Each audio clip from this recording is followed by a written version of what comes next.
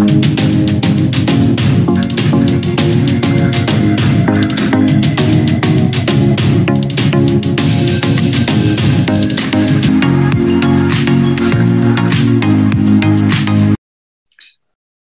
everyone, my name is Mandeep. Welcome to my YouTube channel. Um, in today's video, we are going to discuss about gradient descent algorithm. We'll do the practical implementation of it using Python code. And uh, in previous video, we discussed uh, the conceptual part of it on whiteboard, how uh, this algorithm actually works. So uh, without wasting any further time, let's get started. So as I discussed in previous video, in gradient descent, we always try to minimize uh, a particular function. So we and what we do we uh, do with the help of derivatives. So we try to find uh, the var variables which are used in that function. We try to find the values of those variables and try to find at what values of those variable uh, that particular function will be minimum will result a minimum value. So that's the idea. So um, in this what we are going to do we are going to implement gradient descent concept on M, uh, on our cost function uh, and which is our mean squared error in case of linear regression. So let's get started.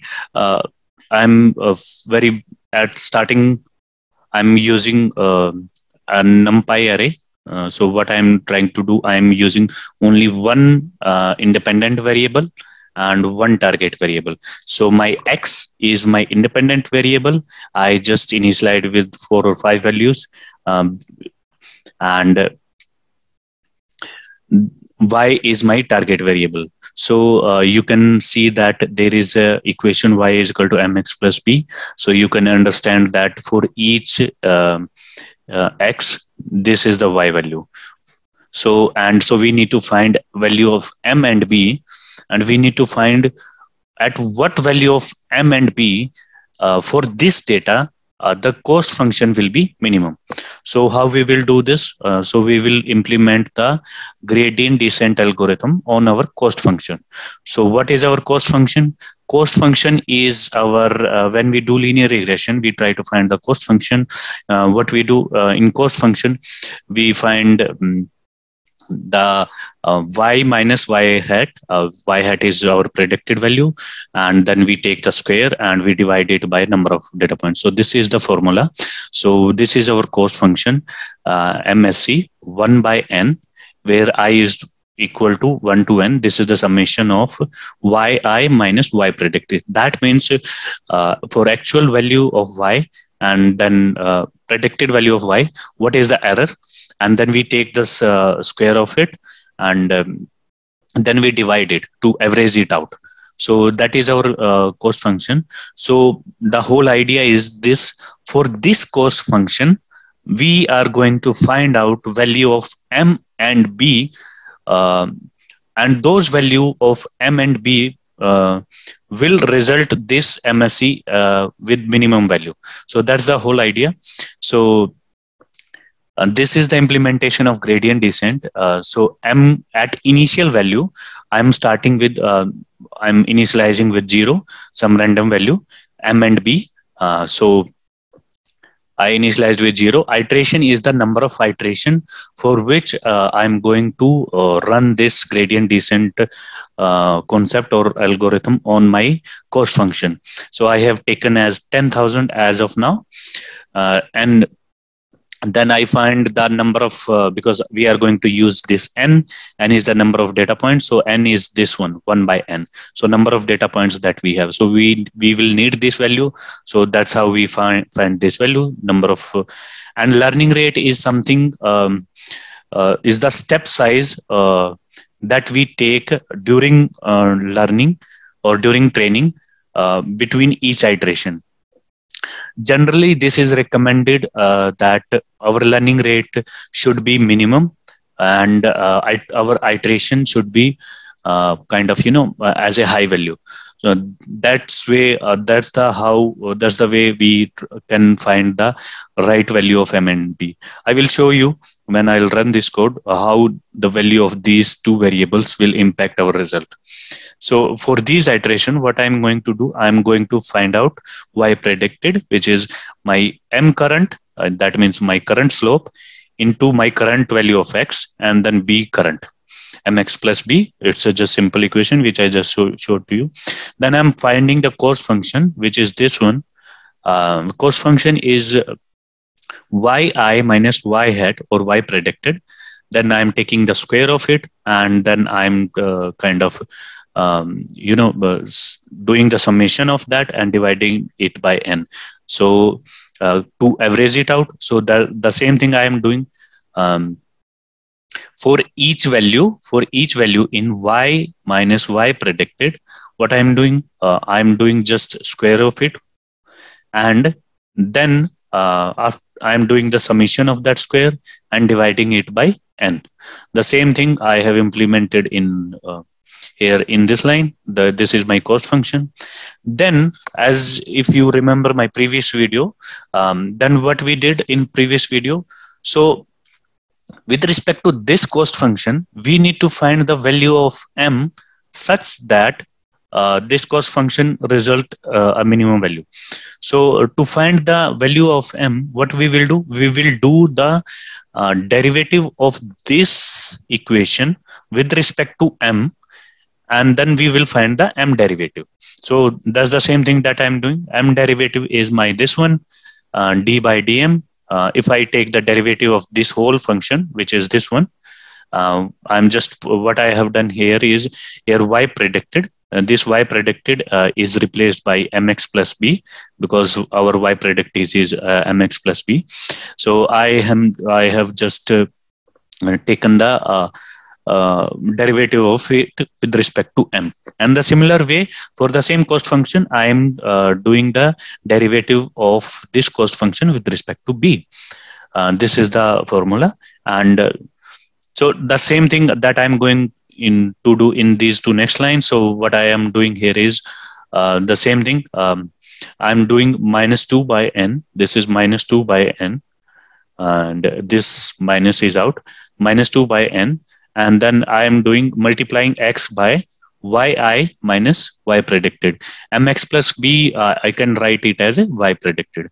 So that's the only thing that i'm doing. I'm doing the minus 2 by n into some um, summation of what?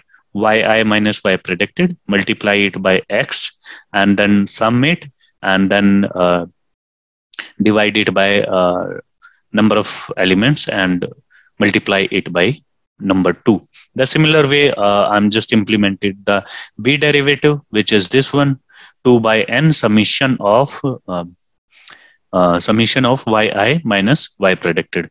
Here only only the difference is that here we do not have x and here we have x. That's the only difference. So this is the partial derivative of cost function with respect to b. Um, now I have find um, I have found m derivative b derivative cost function then what i'm going to do i'm going to update my m current value and b current value how i am going to update it with it m current jo, uh, that is my current value into minus learning rate into m derivative so this is how I am going to update my M current value. The similar way I'm going to update my B current value. So what will happen in next iteration? This will be the this is the newly updated value of m current and this will be the newly updated value of b current will be uh, taken. And then i again i'm going to calculate the cost function then i'm i will calculate the m derivative b derivative then again i will update my m, m and b. So the whole idea here is that we are trying to find with each value of m and b that we are updating in each iteration, we are finding how our cost function value is uh, changing, whether it is increasing, decreasing, or what is happening here.